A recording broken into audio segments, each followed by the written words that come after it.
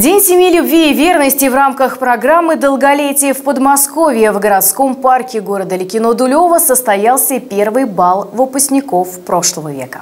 Стройная, милая, очень красивая девушка. Такого выпускного бала у них точно не было. Почти 100 ветеранов во второй раз отметили окончание школы, но теперь со всем размахом.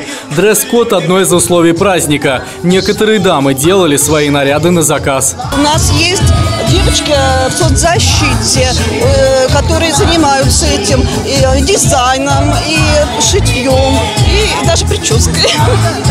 Свои выпускные они отметили почти 50 лет назад, но, как признаются некоторые участники бала, тогда было некогда веселиться.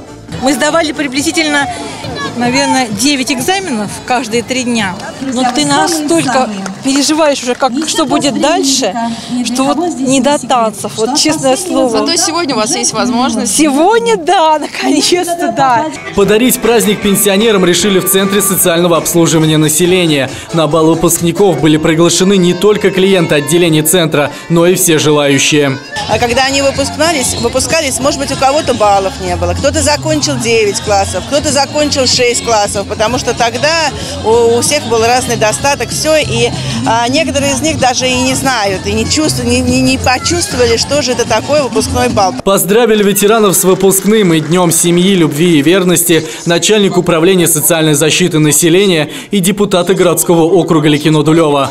Бал выпускников прошлых лет на территории городского округа прошел впервые и стал настолько успешным, что организаторы планируют повторить его и в следующем году.